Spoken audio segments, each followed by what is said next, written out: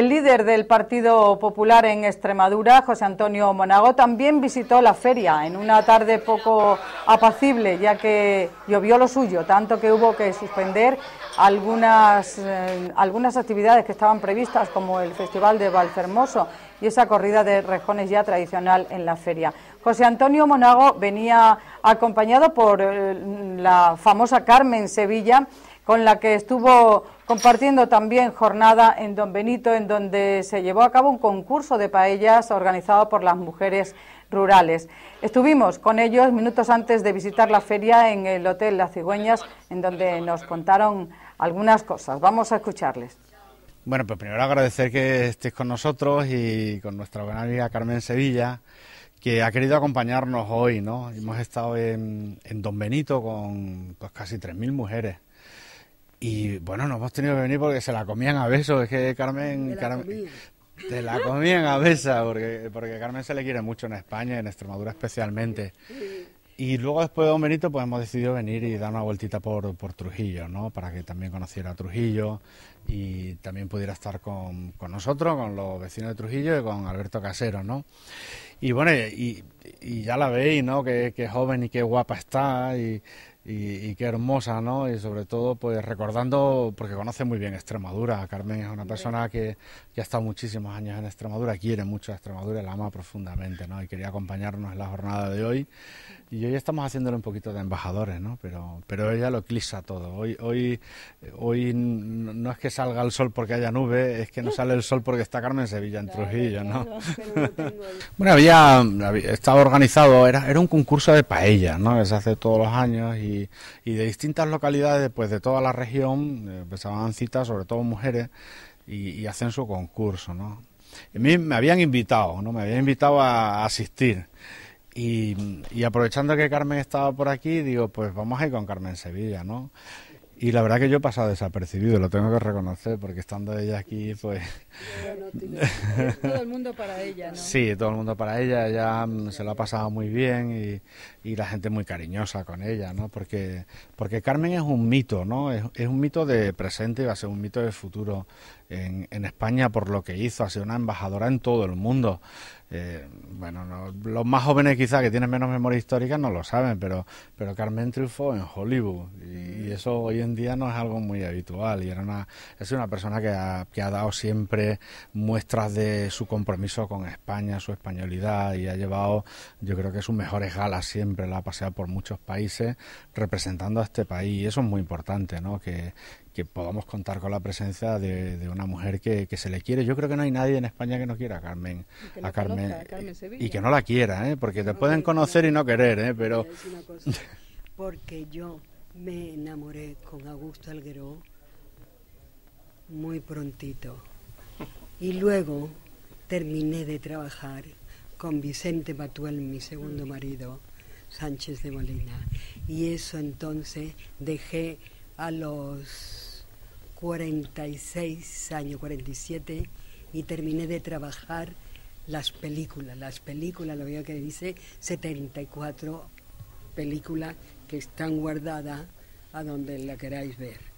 Y claro, pues entonces ya, pues no me han visto más. Y la gente que han que han salido, un jovencito, y quién es Carmen Sevilla, y quién y era la viejita como yo, que soy vieja, con 80 años, con 80 años, pues todo el mundo, y entonces la madre, la padre, su padre, los abuelos, las abuelas, pues eso eran los que me conocían todo en toda España y en toda Italia y Francia, Italia, América, Suiza, Argentina y México. En México estuve para punto de seis años, pero estuve haciendo tres, cuatro películas. Y entonces ya estaba feliz, pero ya me enamoré, me casé con Vicente Patuel y me fui a la finca. Está mucho tiempo aquí en Herrera cerca por aquí, a la finca. Y estuve pues 73 años, cerca de 74. Y entonces ya no hice más película, mi vida. A fin de cuentas, eh, ha sido una, una jornada estupenda, ¿no? Para, para ya encarar lo que nos viene encima. Con todo el mundo. Con, los 22 días que nos quedan de campaña, ¿no? todo el mundo. Hay quien hay quien se trae Rubalcaba aquí a Extremadura, yo me traía a Carmen Sevilla. Yo creo que hemos salido ganando todos los extremeños, ¿no? Con, su presencia. Y la verdad es que muy bien, muy bien. yo creo que, que era era era bueno, ¿no? Que estuviera Carmen con nosotros y, que nos bueno que nos acompañara, ¿no?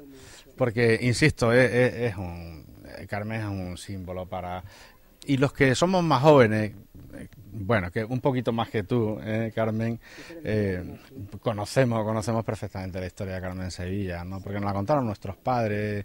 Eh, mis padres eran unos admiradores, yo ojalá pudieran vivirlo. Sí, no, no, ojalá, ojalá, porque era, era la conversación en la casa, ¿no? Se paraba, se paraba la casa cuando salía Carmen Sevilla y, uno estaba correteando por el televisor y decía, quita, quita que, que está Carmen Sevilla. Hay que ver a Carmen Sevilla. Sí, sí. y, claro que sí. y, bueno, y es, es fantástico. ¿Preparada ya es la noche de pegada de carteles? Bueno, la verdad es que eh, nosotros llevamos trabajando más de dos años en la carretera, ¿no? Y por lo tanto hemos hecho un trabajo muy intenso. Y algunos dicen ahora que viene la campaña parece que van a trabajar más no no yo llevo mañana tarde noche y fines de semana dedicado a Extremadura en esta oposición que es querer gobernar a todos los extremeños. Y por lo tanto no, no va a ser más intensidad de trabajo del que veníamos haciendo no y por otro lado nadie nos obliga y también lo hago muy gustosamente no Ahora, bueno, pues también es verdad que todas las informaciones en los medios lo acaparan la, la campaña electoral, pero llevamos muchos años trabajando ¿no? en, interés de los extremeños para ganarnos el cariño y la confianza de nuestros paisanos. ¿Quiere hacer alguna interpretación de esas últimas encuestas que se barajan? Bueno, yo digo que las encuestas encuestas son, hay que trabajar con mucha humildad, hay que seguir el camino que se ha emprendido hasta el día 22 de mayo y por lo tanto hay una encuesta que no va a fallar que la del 22 de mayo. Mm, bueno, las encuestas son muy buenas, qué duda cabe que siempre es mejor tener unas encuestas que te dicen, como la última, que puedes gobernar en Extremadura o que vas a gobernar en Extremadura, que tener una encuesta mala. Pero yo creo que la humildad de las personas, del político, que en definitiva es una persona, te tiene que decir que tú no puedes caer tampoco en la, bueno, pues dormirte en los laureles, ¿no? Porque, porque una cosa es las encuestas y otra cosa es la realidad, ¿no? En ocasiones coinciden, o muchas veces coinciden, pero no siempre coinciden te puede dar una encuesta una mayoría eh, absoluta escasa, ¿no? Por poco, y luego la realidad es ser que ganas por mucho más o pierdes por mucho más de lo que pensabas, ¿no? Pero insisto, yo lo decía ayer en, el foro eh, que se hacía de Nueva Economía en Madrid con Mariano Rajoy, ¿no? Yo eh, el 22 de mayo he ganado. Yo sé que he ganado. De cualquier manera, de cualquier... sean los resultados. Sí, he ganado. Y le voy a decir por qué. Porque he tenido la oportunidad de hacer más de 200.000 kilómetros en mi tierra. He tenido la oportunidad de, visitar más de 375 pueblos. Y lo que yo he aprendido de Extremadura de los extremeños, eso ya me lo he quedado. Eso no me lo va a quitar nadie. Y por lo tanto, como eso no se puede aprender en ningún sitio en tan poco tiempo, yo, sea cual sea el resultado, tengo que decirle a los extremeños que he ganado. Y voy a dormir muy tranquilo esa noche voy a dormir muy tranquilo porque creo honradamente que he trabajado por mi región eh, para gobernarla. Y ya serán los extremeños los que me digan, pues el semáforo está en verde o el semáforo está en rojo. Pero a ellos le corresponde, ¿no? Dar la última palabra. ¿Dónde tiene pensado pegar el primer cartel? Pues no lo sé. En Extremadura desde luego que sí, ¿no? Pero no lo sé. Yo probablemente sea en la capital autonómica, en Mérida donde, donde se suelen hacer estas pegadas, ¿no? Sobre todo por la presencia de medios regionales. Y seguramente sea en Mérida, pero no me importaría hacerlo en cualquier otro punto de la región, ¿no? No, no, tengo ninguna preferencia en especial. Usted además es el presidente del Partido Popular en, en Extremadura. ¿Alguna consigna a todos los candidatos que se presentan por, esta, por este partido eh, antes de las elecciones? Pues las mismas recetas que les pedí hace dos años que estén con el despacho en la calle, que hablen en extremeño a los extremeños y que escuchen a los extremeños antes de hablar. Y que propongan a los extremeños de cara al 22 de mayo qué es lo que le ofrecemos, cuáles son las alternativas a sus problemas después de haberlos escuchado.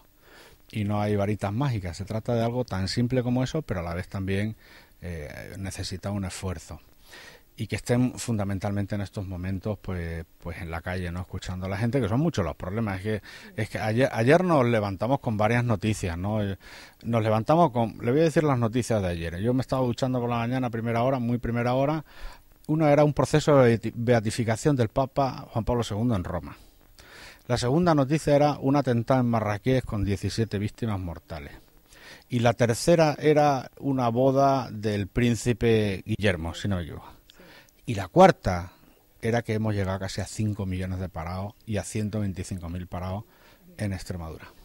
De las otras tres no tenemos nada que ver, en ninguna de las otras tres noticias, de las primeras. Pero en la cuarta nos exige darle una respuesta a los extremeños. Y desde luego lo que ha quedado claro, y aquí no caben interpretaciones, es que este gobierno no ha creado empleo, lo ha destruido. Prometió 60.000 empleos y vamos por 125.000 parados. Y de eso se tiene que hablar el día 22 de mayo. De un gobierno que prometió y no cumplió. Y de un partido político, que es el Partido Popular de Extremadura, que quiere cumplir lo que otros prometieron y no cumplieron, que es crear empleo. Muy bien, pues las cartas prácticamente están ya echadas y que, bueno. Que Dios reparta suerte, ¿no? Que se dice. Muchas gracias. Muy amable, gracias.